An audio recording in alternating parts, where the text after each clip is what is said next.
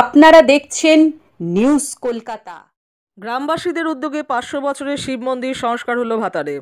সম্প্রতি পূর্ব বর্ধমান জেলার ভাতার ব্লকের সাহেবগঞ্জের এক নম্বর গ্রাম পঞ্চায়েতের অধীনে শালকুনি গ্রামে কয়েকশো বছরের পুরাতন শিব মন্দির সংস্কার করে মহাধুমধামে পুজো পাঠ দিয়ে শুরু হলো আজ।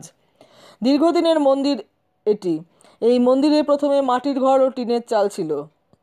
এই গ্রামের বাসিন্দা খুদুমণি দাসী ছিলেন নিঃসন্তান। তার চোদ্দ বিঘা জমি তিনি এই মন্দিরকে দান করেন।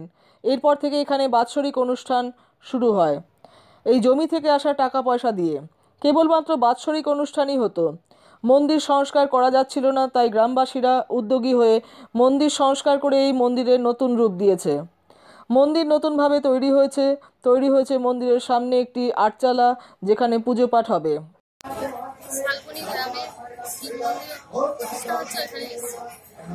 কি কি হচ্ছে এখানে? কি কি হচ্ছে?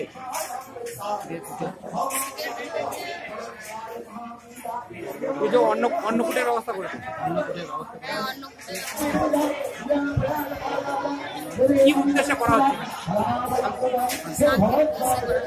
আপনার পরিচয়? আমি সাহেবগঞ্জ এক নম্বর চাইনা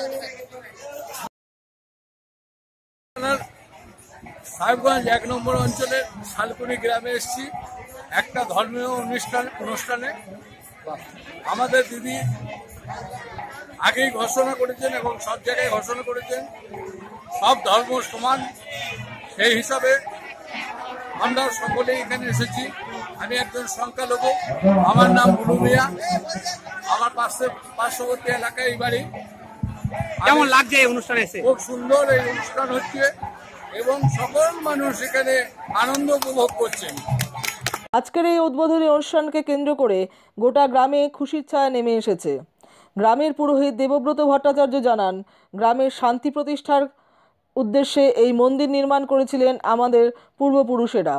সেই মন্দিরকে সংস্কার করে আজকে উদ্বোধন করলাম আমরা গ্রামবাসীরা মিলে।